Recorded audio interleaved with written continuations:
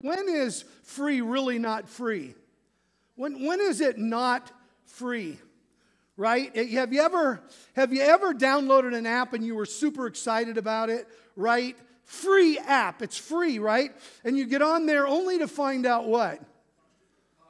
Eh, yeah, thank you, Stuart. it's not free at all. Like you get excited, you're going to get a golfing magazine. You get on there, and the app is absolutely free. You can get on the app. You just can't read anything unless you buy it, right? Kind of like a golf magazine or some of the other things. It's not really free. And so this morning, what we're going to look at is when is free free? When is it truly free? So this morning, as we look at this, if you have an image of what is, what's your image of freedom? This was mine. I saw it this week, and it reminded, doesn't that look like our pastor? Like just really enjoying himself on vacation in the water. And you know, it looks just like him. And I love the image. It almost looks like a cross underneath him. It's just beautiful. And so I'm not venerating him, by the way. He's not a saint. He's not even dead yet. So, but anyway, but but it, it's one. I, I have I have images of freedom in America. Some of us have images of freedom. For my mama, it was the Statue of Liberty. She kind of placed in my heart this this love for the Statue of Liberty and what it represented in America. And we're in this Fourth of July weekend, and we have these images of freedom. However, the Christian image of freedom has never shifted. It's never shifted. And that image of freedom today, as we look at it, the Apostle Paul in Galatians chapter 5 addresses an issue that's really difficult. Because, like this app, like this app that you get into it and you realize that it's not free, the church in Galatia had an app swap. They had some folks that came into the church and said, you know what? Yeah, relationship with Jesus Christ, it's, it's free, but not free. It's free, but we're going to add some additional things. So the Apostle Paul, not pulling any punches, wanted to tell them right up front, because the entire book is about justification, about how we are justified in Jesus Christ. And he's trying to combat these folks that have come into the church. And I was reminded by Pastor Frank, some of those folks considered themselves pillars of the church. Ed Paul in chapter 2 didn't pull any punches with them. But the Apostle Paul planted churches, particularly on his first missionary journey. And he left Jewish, when he left, Jewish Christians came in and they said this pretty much that Jesus, that Jesus app that you downloaded for free, well, it only works if you pay up. It only works if you wrap it into Judaism. And they were called Judaizers because they came in to take advantage of those Christians. You have to keep the Jewish law. It's Jesus and the Jewish law. Jesus is good, but he's just not enough kind of a, a real challenge, isn't it? So if you bought into something, you signed up for something, and you realize that, look, it's not really free. That's what the people in the church were saying. That's what many of them were trying to push on the church. The gospel, friends, is done, not due. Let me say that again. The gospel of Jesus Christ is done, it is finished, it's not due. We live by grace alone in Jesus Christ. It's done and not due. Christ finished the work. The Apostle Paul is expressing this incredible frustration that these Judaizers have come in and they brought confusion and they brought with them the pay to play. And we all know what that means the pay to play. That, yeah, you can be in the church, and yes, you can have this. It is through Jesus, but not really. So, you, in, in, in, chapter 5, he begins to talk about why it's so important because he says, you, You've come in knowing Jesus, but now you want to add circumcision. Now you got to get circumcised. Now you got to do this rule. Now you got to follow this thing. And Paul is saying that's not how you came into this. That's not what you were promised through me. That's not what took place when I came. Amen? And this morning, this 4th of July weekend, we're going to go camping. You're going to go camping with me this morning. And we're going to camp in chapter 5 of Galatians, and we're going to dabble. In, in, we're going to put our feet in the river or the lake of chapter 3 this morning. We're going to unpack that in Jesus. Let's pray. Father God, thank you for our time together. In our short time, this is going to be one of the, this is shorter than one of Brooke Mars camping trips. Lord, help us to have a great time this morning. Amen and amen. And we're not, it's not a two day thing. We're just going to be in here for about 30 minutes this morning. Finding our freedom to Christ is the title of the message this morning. Some years ago, we had a woman come into the church and she was really new.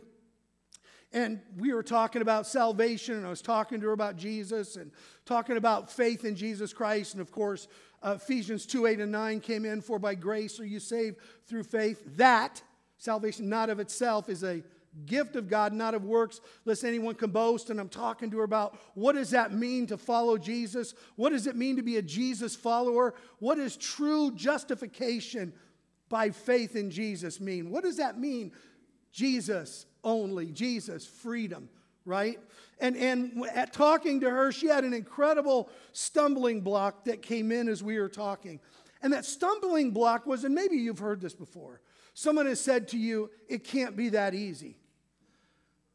Just putting my faith in Jesus, just believing that He died and rose again, believing that if I turn away from my old life and say, I'm going to walk this direction and I'm going to begin to walk, it can't be that easy. There's got to be something more. And as I dug down deeper with her, she began to talk about in her life all the things that she had done. You don't realize, you don't know what I've done.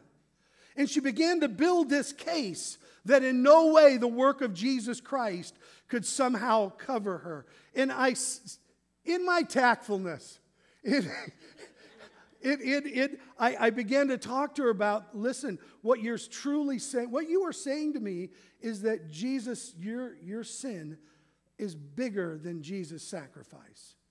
Whew. You're saying your sin, yours alone, that he died on the cross for all sin for all of us who would receive that, you're saying that yours is so much bigger than anybody else's, bigger than the Apostle Paul, who said, I'm the chief among sinners because I have butchered his people. I've led them to the slaughter became, before he came to his own Jesus time, Jesus moment. And I started to speak to her, talk to her about it. And you know, she never got through that. In fact, she left here and she went to another church, a Mormon church and she talked to me later and said, They've given me things I need to do that I must do to be saved. So it wasn't enough. Jesus wasn't enough.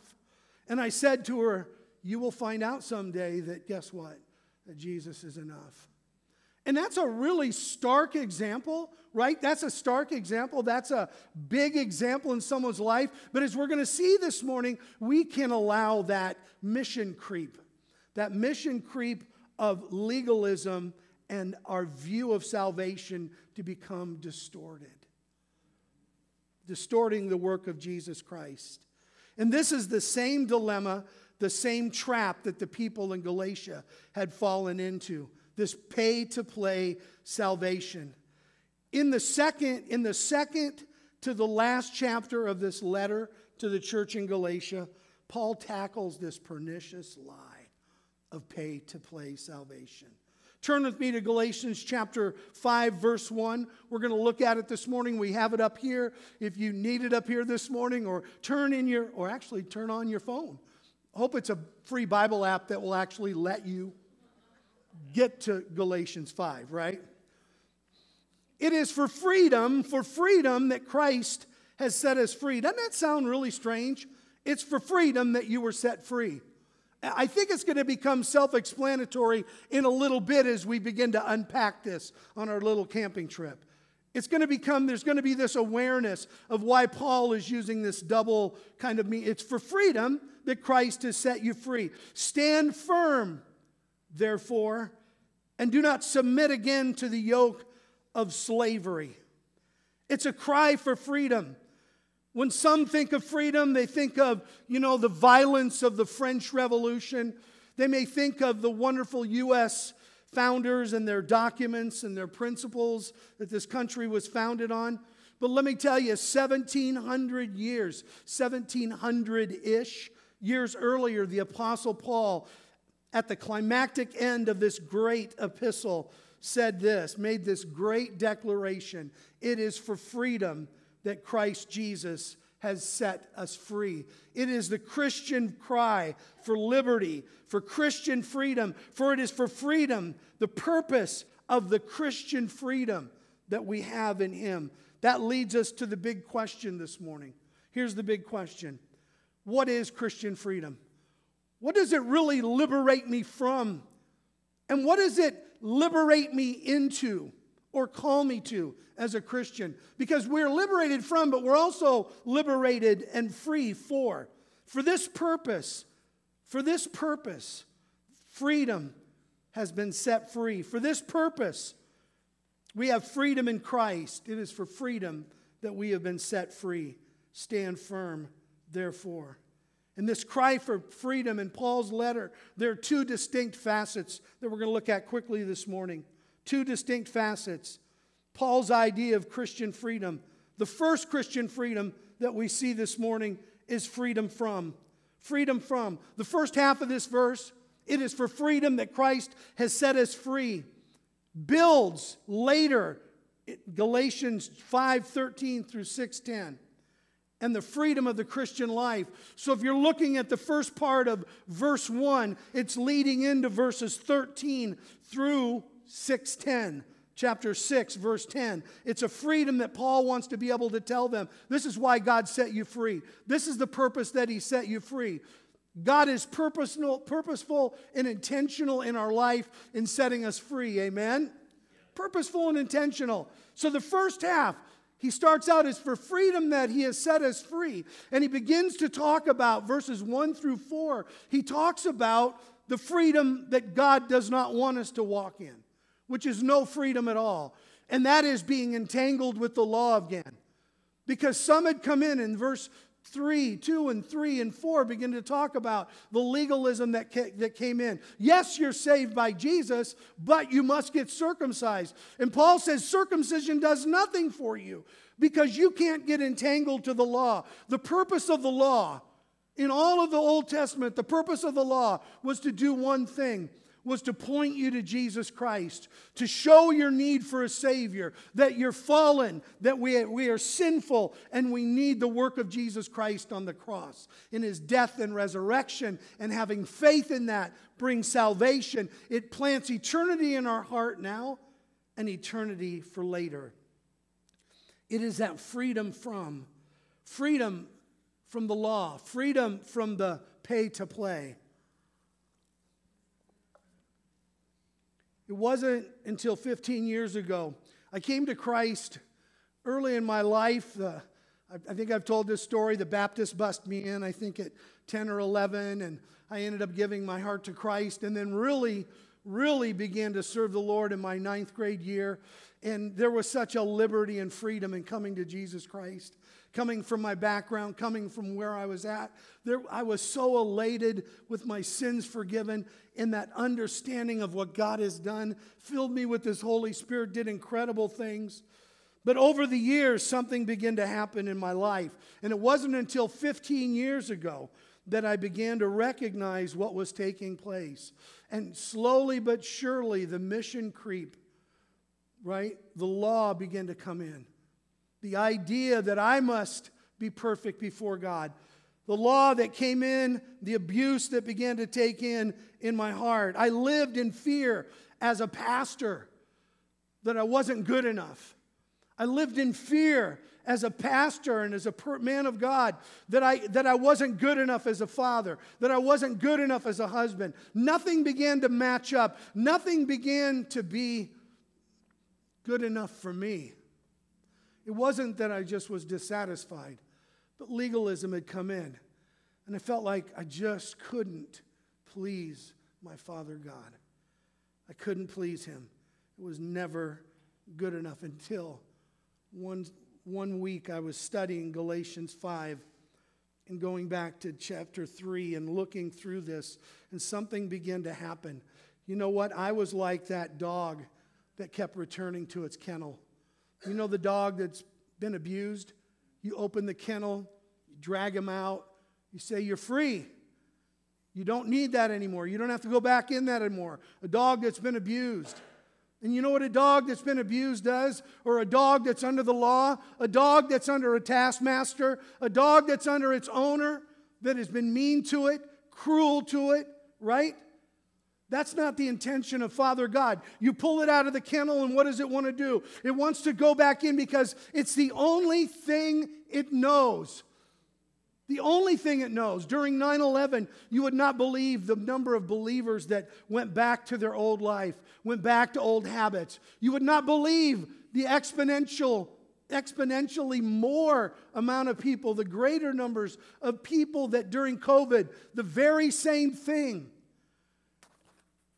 very same thing. Not good enough. Can't be good enough.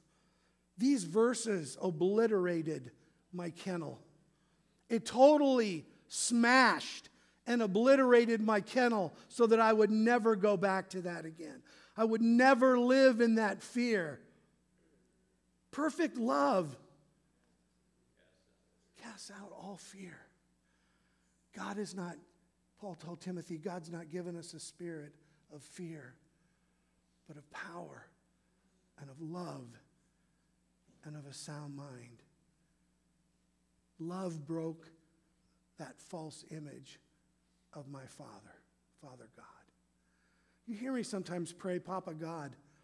That's when that term came into my life, was that week. Papa God.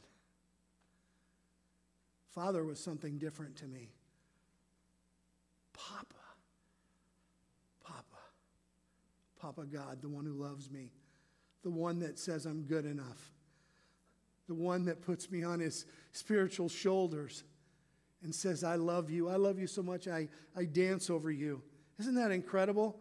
In verses 1 through 8 of Galatians, and 7 and 8, and Galatians 3 1 through 3, they just, it was so incredible what God did. But you know what? I had no problem applying that to other people's life during that time. I would, I would counsel and talk to other people that were harsh on themselves, right? And I would talk to them and tell them, look, you're free from the law. This is not what God thinks about you. But secretly, myself, I lived in that. I lived in that. I lived with that. Back into the bondage of the law. Galatians 7 and 8 that I just spoke of says this You were running well. You were running well. Who hindered you? And that in that Greek, in the Greek language, that original word hinder means who beat you back. Literally, who got in your running path, your lane, and beat you back? Who pushed you back in your spiritual walk to a place that you began to depend upon your own works again? Who invaded your life in such a way that you stopped your forward momentum in Jesus and you froze? You know why you froze? Because you can never be perfect enough. You can never, ever be good enough. And that's why Father God, Papa God sent Jesus. Amen? So you are good enough. Amen? Who beat you back from obeying the truth?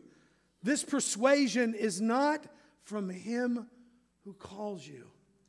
Who? Not from him who calls you. In fact, in Galatians 3, Paul addresses it this way Oh, foolish Galatians. And you can even put, I put my own name there that week. Oh, foolish Tommy. Don't ever call me that. I hate it. Oh, foolish Tommy. Who has bewitched you?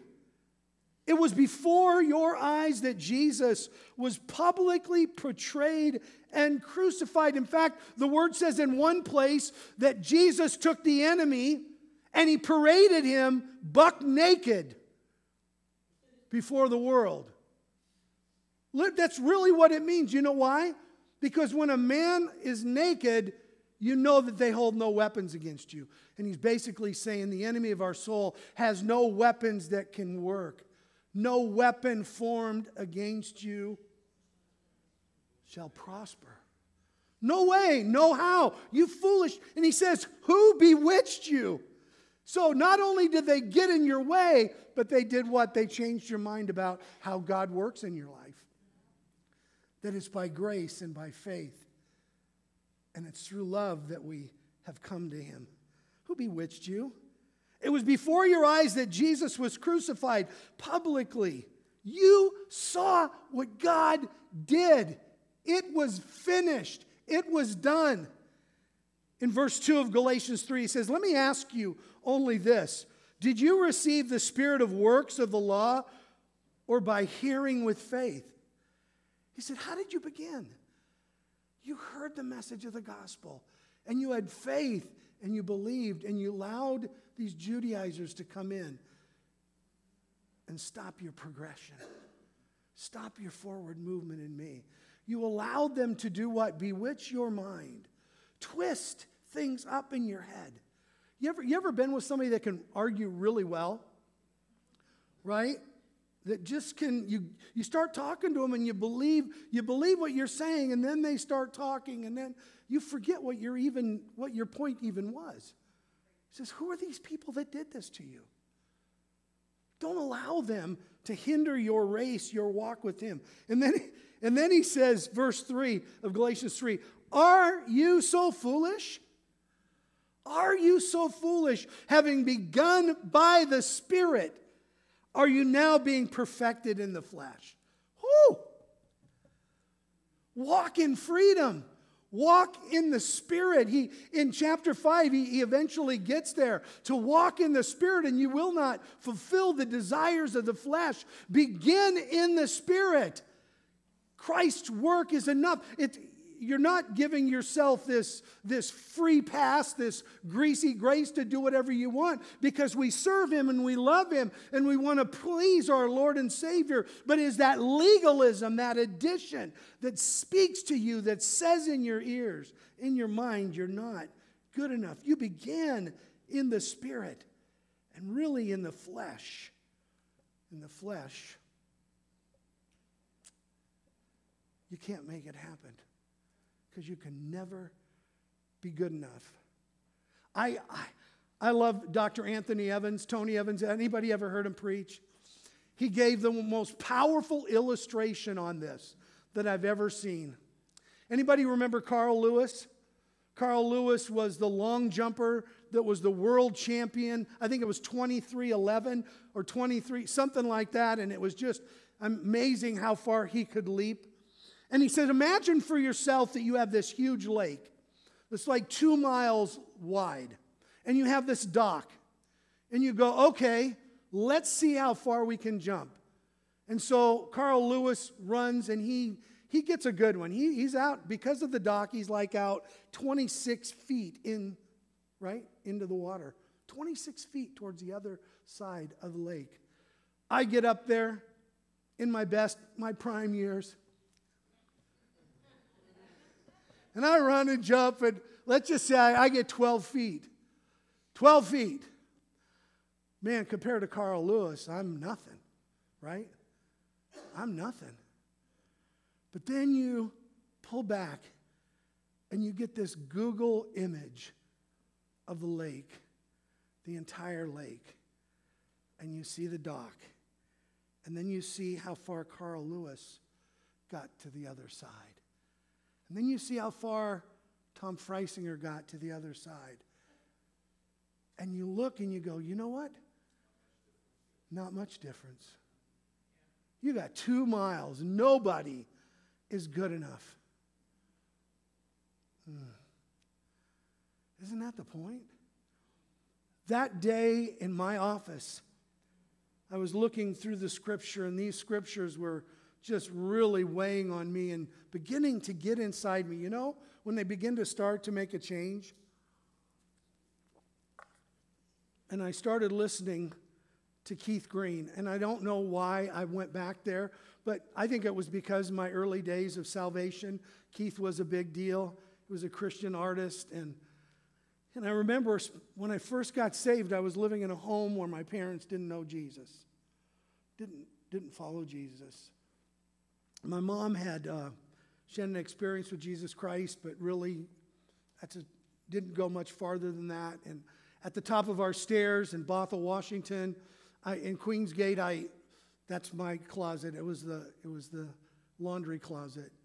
And that's where I'd go into for hours and I would listen to Keith Green and I would pray and pray in the dark, pray out loud by myself. I had no, very little support. And I began, and I began to listen to this song when I hear the praises start. And I just remember breaking down and just saying, I can't do this. I can't be what everybody else wants me to be. I can't even be what I think I should be, where I think I should be. And I'm beginning to listen to this song. And the words go, My son, my son, why are you striving? You can't add one thing to what's been done for you. I did it all while I was dying. Rest in your faith. My peace will come to you. And I just began to weep. And I remember I ran, ran into the sanctuary and I threw myself on the floor and I just began to weep. And God did this incredible, incredible thing in my heart. And I just remember getting up and realizing the kennel's gone, the cage is gone, and the draw and the pull of the law has been broken. In all of our lives, it doesn't matter whether you're a pastor or who you are, you go through those moments in your life as a believer where God begins to do a new and a deeper thing in you, where you're not the same, where He brings some catastrophe, some major event in your life. You come to some point in your life when you realize you're trying to do it all on your own and you can't. You're not going to fix it all on your own. You're not going to change it all on your own. But there's one who will walk with you, who will never leave you or forsake you. Amen? I got up from there and I was a different person. It was done, not due anymore. God had done it all. And you know what? I still walked with God and realized I want to do great things for Him. But here was the difference I was doing it out of love for Him, but not the law. The law was dead in my life. And you said, but you were a pastor for 20 years. Yeah, I know that. And that's just the point. You know, we often look at TV programs and we wonder, how could the Pharisees actually be like that, right? And then you go, religion can sneak in to anybody's walk. The law can creep in to anybody's walk. Amen? Blow up the kennel. Get rid of the cage today. Walk in freedom. The second aspect is freedom for. So, freedom from the law. Freedom from the law and its, and its abuse and its mastery. I was free from the law of sin and death and hell. I was free from living in fear of hell. That wasn't it. But I was bound. But I was free for what? Free for what? The second half of this verse that tells us to stand to stand and not go again into the slavery of sin. Begins to capture the idea that God has something more for us. And, and the reason that word stand therefore is there because of the idea that, that, that the enemy has been buffeting you with the law. And he's saying, withstand it. Withstand it because you're going to break through. And when you do break through, there's going to be a for in your life freedom for. freedom for. And we see that in chapter 2, 16 through chapter 4, 7. We get this idea of the full acceptance with God. The only way is by faith in Jesus Christ. Freedom for is found in verses 5 and 6. Freedom for is found for one thing it's found through that one word, that one powerful word freedom for loving and serving others. We're freedom for love. We're free to express love to God and love to others, right? We're, freedom, we're free to put others first. We're free to do what? Not to do live our life just for ourselves. Working in love. Look at verse 5. Let it speak for itself. For through the Spirit by faith we ourselves eagerly wait for the hope of righteousness. For in Christ Jesus, neither circumcision nor uncircumcision counts for anything, but only, only faith working through, there's that four letter word, love.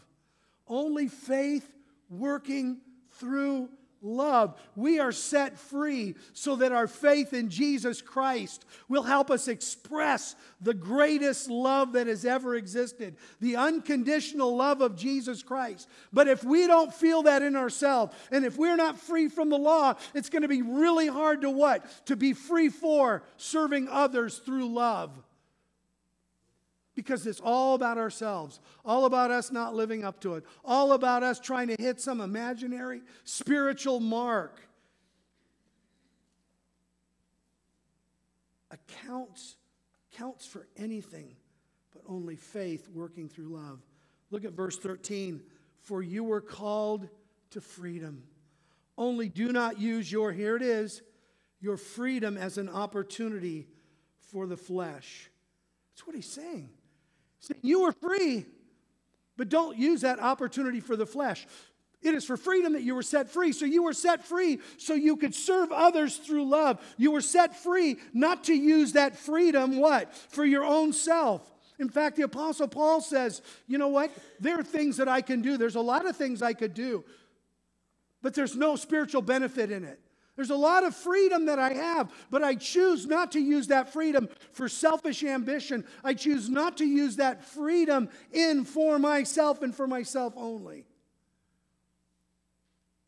There's a lot of things that, that are okay, but they're not beneficial because they're not expressing love through service to others. For you are called to freedom.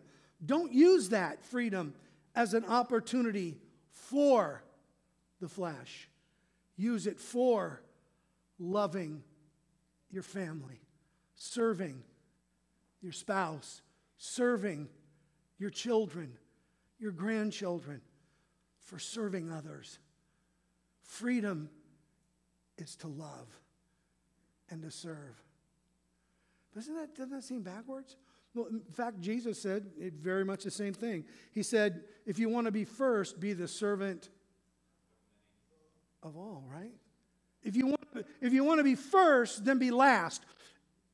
Right? You want to serve. And it, it, is in, it is in line with what Jesus spoke about. Use that freedom for serving others in love. Use that freedom for doing good to all, especially the household of faith. It's consistent throughout. We've been free from the law of sin and death and we're free for serving God. I choose to serve Him out of my heart. I choose to love as Jesus loved. That's my freedom.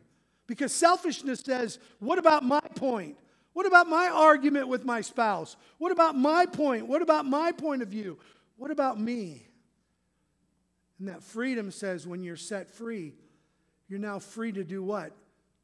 Free to go about the Father's business not free to make an opportunity because that grace that, you've, that you're taking advantage of brings great pain to the Holy Spirit. Amen? In 2 Corinthians 10 23, speaks to using your freedom as an opportunity. All things are lawful. That's the scripture I just spoke to you about. All things are lawful, but not all things are. Not all things are lawful but not all things are helpful. All things are lawful, but not all things do what? Right. So we're free. I love that. We're free to roam about the airplane. I love that when that light goes off. Ding! And it says, now you can get up and walk around. I love it. Right? That's what Jesus is saying. The seatbelt light is off. Get up. Ding, get up. Ding, get up. Amen? Amen. Love builds up. Love uses our freedom to serve others. Look at Galatians 13, the second part. But through love, there it is again, serve one another. For the whole law is fulfilled in one word love. You shall love your neighbor as yourself.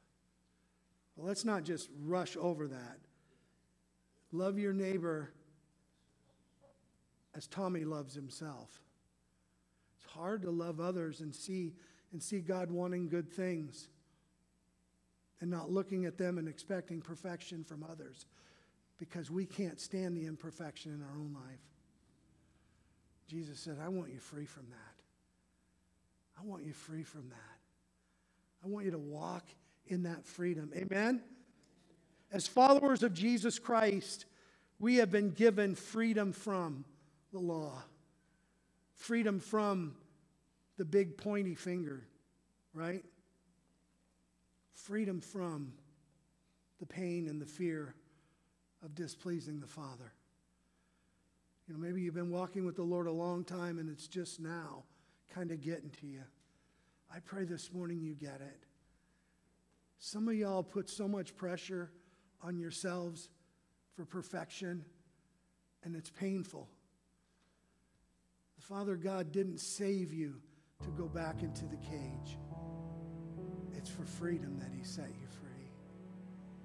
And He set you free so you can love and serve others, so you can use that freedom to make a difference and not use that freedom for your own selfishness and sin.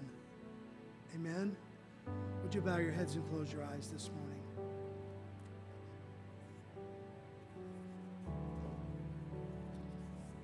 Lord, there are many this morning, and in their hearts, they, there's a realization.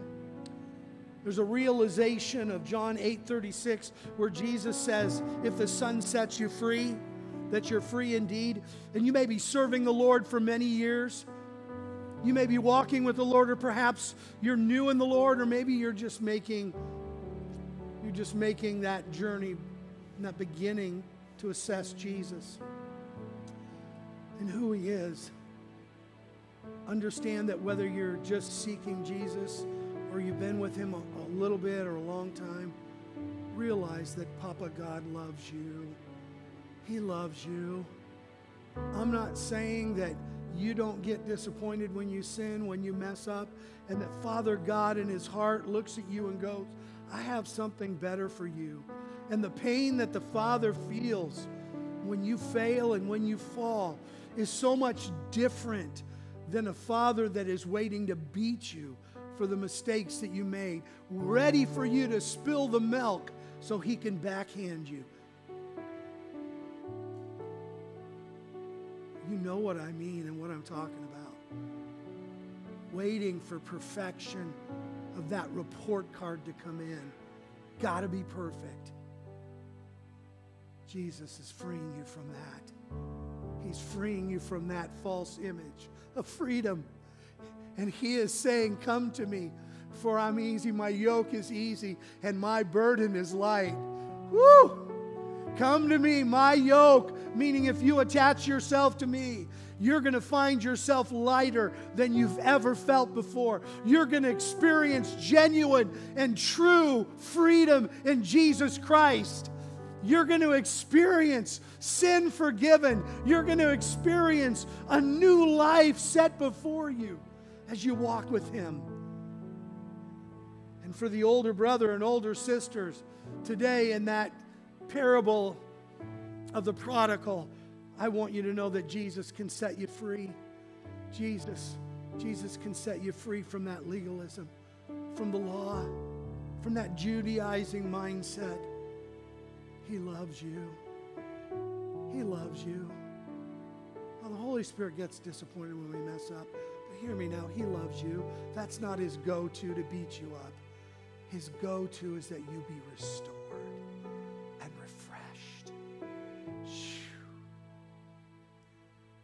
Your heads bowed and your eyes closed, I believe there are some young people here today, and it's been difficult for you. And you have put, you've drawn your own line in the sand, and you've crossed over it so many times, and you're frustrated, and you think, how can, how can God love me? How can He put up with me and my mistakes? And, and, and I, I want you to know He loves you. He loves you. And He's calling you to Him. Would you take that step to Him? Set aside your expectations and your false image of the Father and just come to Him. He loves you. Father, this morning, as we leave this place, I pray that many would close the cages, that close their kennel door for the last time and walk away from it and have freedom freedom to walk in love and service to you, freedom from the law. Mm. God, we have freedom.